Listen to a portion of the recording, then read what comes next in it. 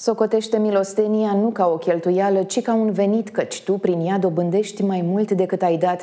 Cuvintele Sfântului Ioan Gură de Aur stau și astăzi la baza funcționării caselor de ajutor reciproc ale clerului și salariaților bisericești. Începutul de an este moment de bilanț și pentru instituțiile financiare nebancare ale centrelor eparhiale. Membrii adunării generale a Casei de Ajutor Reciproc de pe lângă Episcopia Maramureșului și Sătmarului au analizat astăzi veniturile și cheltuielile pe anul 2020 23 în cadrul unei ședințe care a avut loc la Catedrala Episcopală Sfânta Treime din Baia Mare. Ședința adunării generale a Casei de Ajutor Reciproc s-a desfășurat în sala Sfântul Iosif Mărturisitorul de la demisolul catedralei și a fost prezidată de preasfințitul părinte Justin, episcopul Maramureșului și Sădmarului. Întâlnirea a reunit consilieri eparhiali, protopopi din eparhie, dar și reprezentanți din fiecare protopopiat. Organizația are un număr de 661 de membri activi și 49 de membri pensionari. În ultimii 10 ani, instituția a susținut financiar diverse activități social-filantropice, caritative și edilitare, sumele totale alocate în acest scop ajungând la 194.000 de lei. La noi această instituție a fost înființată în urmă cu 32 de ani, adică în 1992, cu binecuvântarea în al preasfințitului Părinte Arhiepiscop Justinian, de îndată ce episcopia noastră reînființată a primit un sediu pe Avramian cu numărul 5 și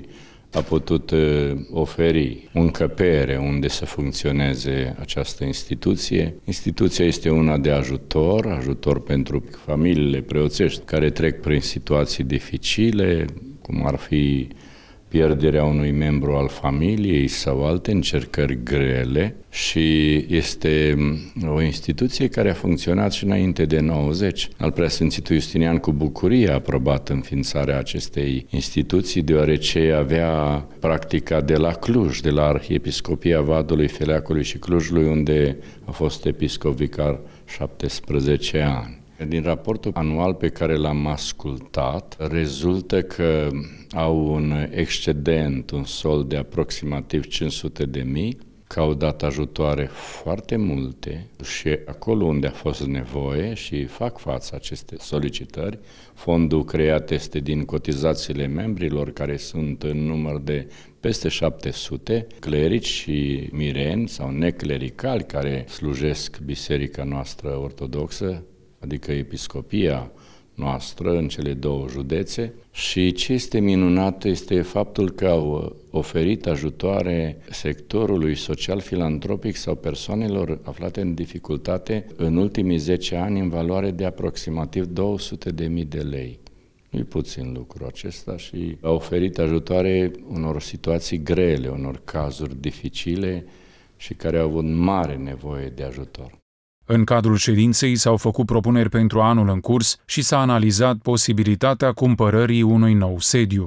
Scopul principal al Casei de Ajutor Reciproc este să acorde împrumuturi membrilor săi.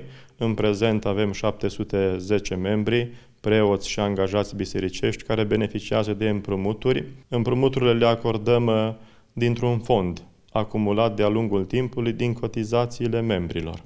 De asemenea, Casa de Ajutor Reciproc acordă ajutoare nerambursabile pentru naștere de copii și pentru decese în familie. Dorind să stimulăm oarecum natalitatea, anul acesta s-au acordat uh, ajutoare de naștere la 13 persoane dintre membrii de drept. Ajutoare de înmormântare s-au acordat la 7 persoane în valoare de 3.000 lei. Un alt obiectiv pe următorii ani al Casei de Ajutor Reciproc este să achiziționăm un sediu propriu în uh, blocul uh, din vecinătatea Catedralei Episcopale, acolo unde sperăm să reușim să ne desfășurăm activitatea filantropică pe următorii ani. Lucrările ședinței au fost deschise cu o rugăciune de binecuvântare. Au fost pomeniți totodată și membrii CR trecuți la Domnul în 2023.